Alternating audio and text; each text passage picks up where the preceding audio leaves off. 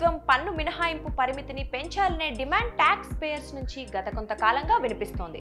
త్వరలో కేంద్ర ఆర్థిక మంత్రి నిర్మలా సీతారామన్ రెండు వేల ఇరవై నాలుగు ఇరవై ఐదు వార్షిక బడ్జెట్ ప్రవేశపెట్టనున్న నేపథ్యంలో ట్యాక్స్ పేయర్స్ నుంచి ఈ డిమాండ్ మరింత ఎక్కువైంది. అయితే ఈ బడ్జెట్లో ట్యాక్స్ పేయర్స్ ముఖ్యంగా మధ్యతరగతి ప్రజలు తమకు ఉపశమనం కల్పించే నిర్ణయాలు ప్రకటిస్తారని కోటి ఆశలతో ఎదురుచూస్తున్నారు.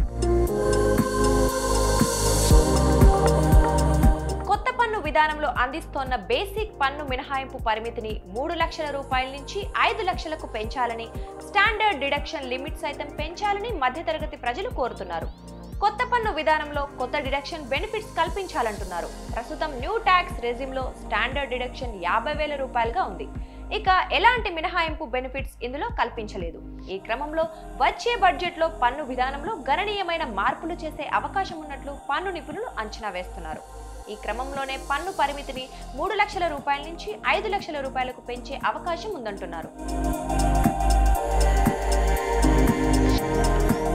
ఒకవేళ కేంద్ర ప్రభుత్వం కొత్త పన్ను విధానంలో మార్పులు చేస్తూ కనీస పన్ను పరిమితిని మూడు లక్షల రూపాయల నుంచి ఐదు లక్షలకు పెంచినట్లయితే అప్పుడు రిబేట్లు డిడక్షన్లు కలుపుకొని నో ట్యాక్స్ లిమిట్ ఎనిమిది పాయింట్ ఐదు లక్షల రూపాయలుగా ఉంటుంది.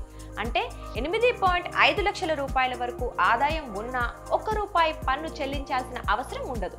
Section eighty seven A standard deduction కలుపుకుంటే ఈ పరిమితి లభిస్తుంది. ఇదే జరిగితే మధ్యతరగతి పన్ను చెల్లింపుదారులకు భారీ ఉపశమనం లభిస్తుందని ట్యాక్స్ నిపుణులు చెబుతున్నారు.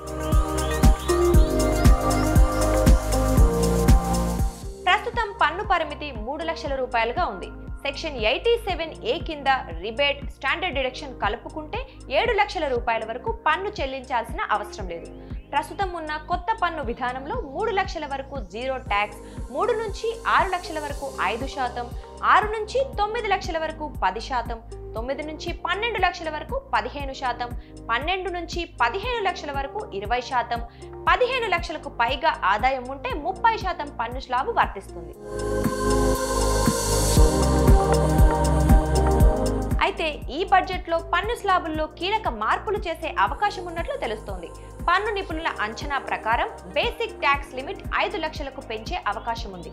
అంటే ఐదు లక్షల వరకు జీరో ట్యాక్స్ ఐదు నుంచి ఆరు లక్షల వరకు ఐదు శాతం ఆరు నుంచి తొమ్మిది లక్షల వరకు పది శాతం తొమ్మిది నుంచి పన్నెండు లక్షల వరకు పదిహేను శాతం పన్నెండు నుంచి పదిహేను లక్షల వరకు ఇరవై శాతం.